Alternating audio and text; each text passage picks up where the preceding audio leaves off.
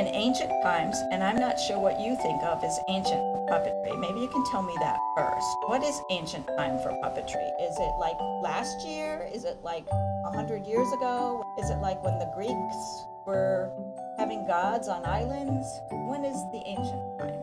It's actually like the beginning of time. Puppetry has been an ancient form of art for centuries, and it's been around longer than golf. Yes, it has. Do Go- you do you play golf, Tommy? I don't. He does. Paul plays golf.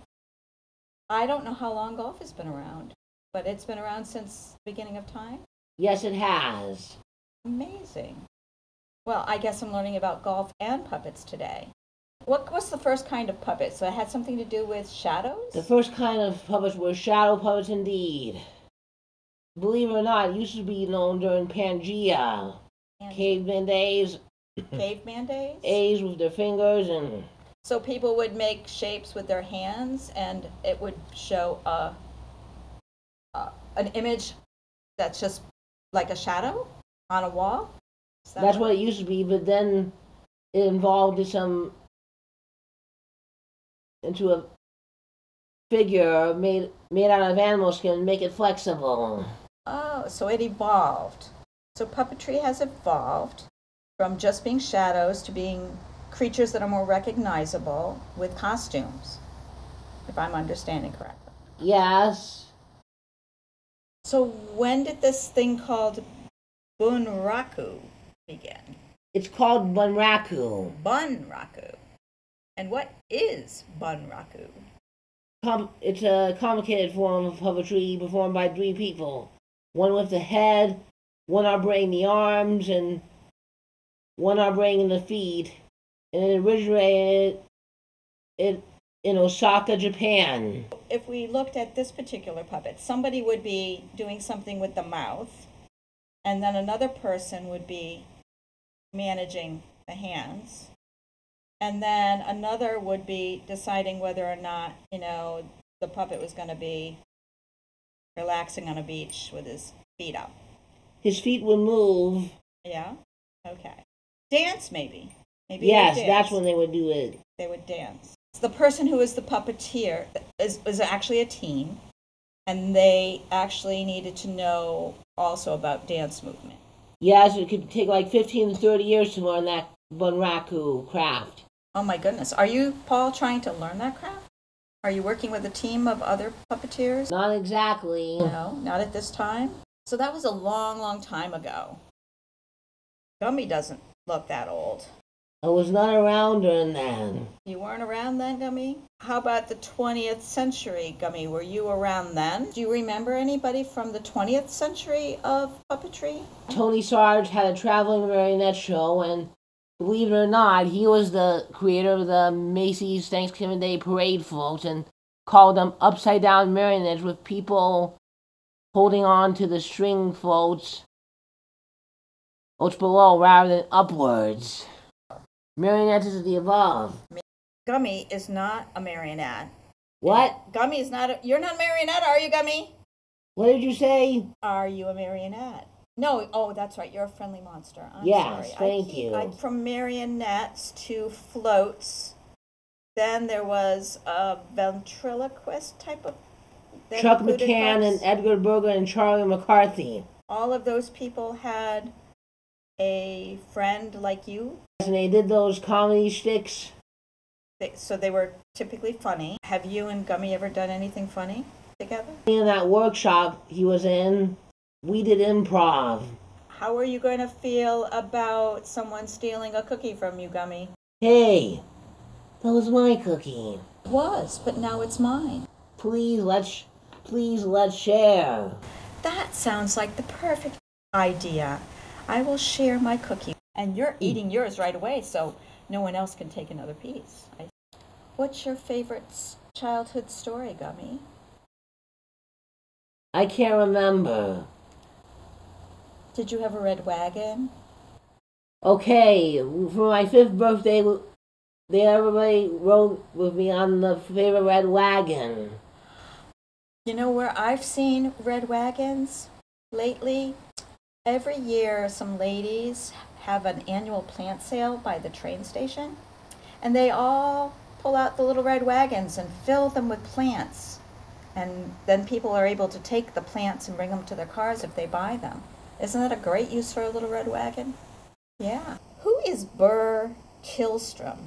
Burr Tillstrom was the creator of Kukla, Fran and Ollie, that vintage TV show with the Kuklapolitan players with no script, and they would sing songs with Fran Allison and advertise sponsors and Oh, okay. sponsors. And he began performing when he was a little kid, performing shows in his neighborhood, and he performed at the World's Fair. I believe that we wouldn't call Kermit necessarily a puppet. We might call him a what? What gummy? Do you know what he's called? Is it a puppet or is it a Muppet. Muppet. And what makes a puppet a muppet? Jim Henson first saw puppets on when he first got his first TV set in 1950, and while it was unplanned, he wanted a career in TV. After his first three years, years, he took it more seriously after a trip to Europe, hmm and then he wanted he gave puppetry a reboot. So he wanted to be on TV, but maybe he wasn't as cute as Kermit, and so instead he found a different way to get on TV, kind of literally behind the scenes. So he built puppets to, for a local Washington D.C. op station for a career. hmm He built them out of foam rubber to give them um, flexibility and human movements. Ah, very flexible. He added rods, odds for lifelike movements. Is that what's going on with Gummy over there? A rod movement? What? They just help me help me to clap. Clap. Uh huh. Are you clapping, Gummy? Did, did something happen that was worthy of a clap?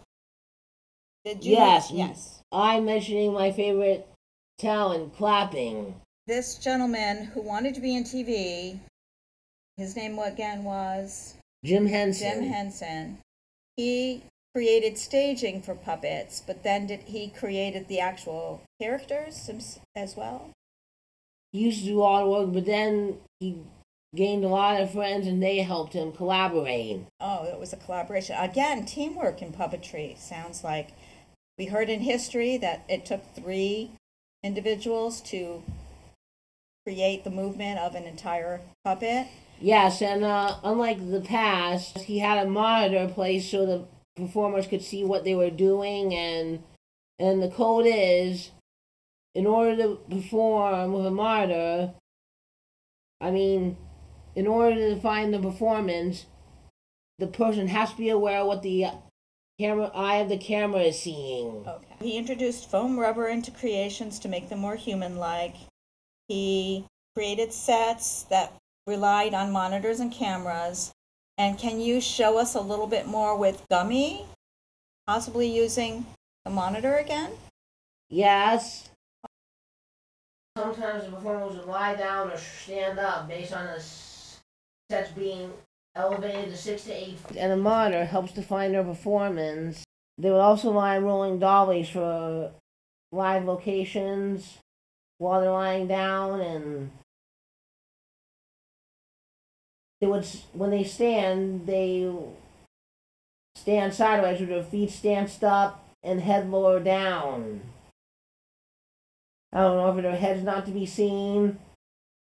And the practice had to actually be back, center, front, center, and right, center, left, center as a warm up.